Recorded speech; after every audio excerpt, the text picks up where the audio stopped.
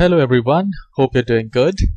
Well today we will check CPU temperature in Windows 10, Windows 11 or any other Windows computer. We will also know what is the ideal temperature of CPU. Because if your system is getting hotter, the performance of your computer will be very slow. It might crash on you or give you a blue screen of death which we call it BSOD. If you're using high-end softwares or for gaming, CPU temperature means a lot.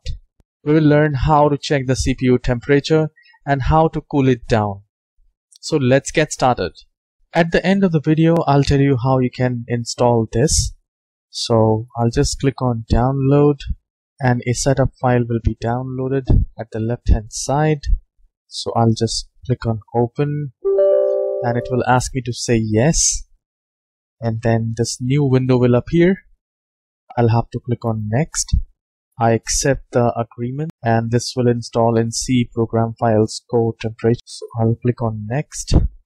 Now here build your own kingdom with Goodgame Empire. Start the game. I will uncheck that. Make sure you uncheck this and install additional language packs. So if you are if you're okay with English that's fine. Else just uncheck this Alright, so I'll just make sure this create a desktop shortcut is checked and nothing else is checked. And I'll click on next and then install. So I'll just click on next again and here let it launch core. So this is how it will open. I'll just maximize so that you can see. Now here I can see there are only two cores in this computer and the load is currently 50%, 37% on the second core. This is my spare computer. So currently the temperature is 53, which is not unusual. You don't have to worry about it. Temperature can vary from 15, 10 Celsius to 50 degrees Celsius, which is absolutely fine if you're not doing anything. And it also depends on different processors. But if you see your laptop is getting heated very much, you can feel that the temperature is very high.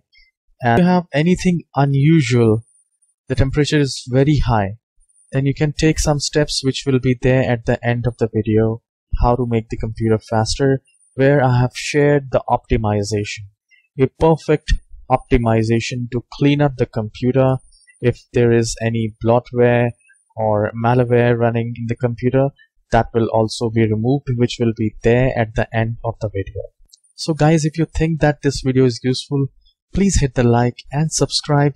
I'll see you in the next video.